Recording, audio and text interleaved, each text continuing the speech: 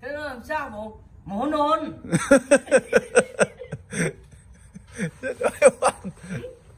không cầm lại bày vật không?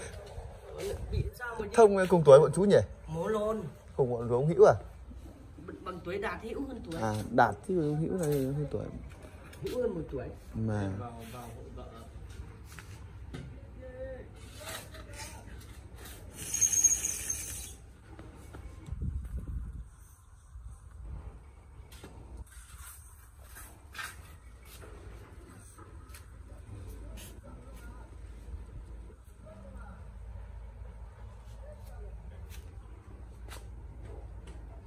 cột cái ôi kệ thôi.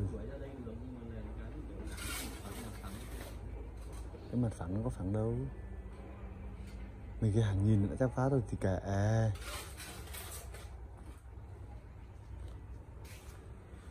như là nó một màu một nét cơ thì nó lấy chứ cái này thì thôi gọi là dán này cho nó hết đất hết bẩn loại gạch lọ với loại gạch kia nó chênh nhau rồi nó vênh nhau nữa cùng mà cỡ 60 nhưng gạch lọ gạch kia nó chênh nhau một vài ly nó vẫn có độ vênh nhau.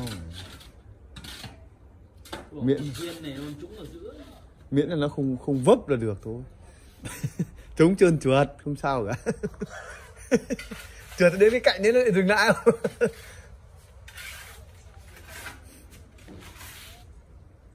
ông hảo đang nát trên nhà tắm trên kia à? hào đang trên cái nào? Hào mới chuyển. Nó lại thêm thợ nữa à? Thêm chuyến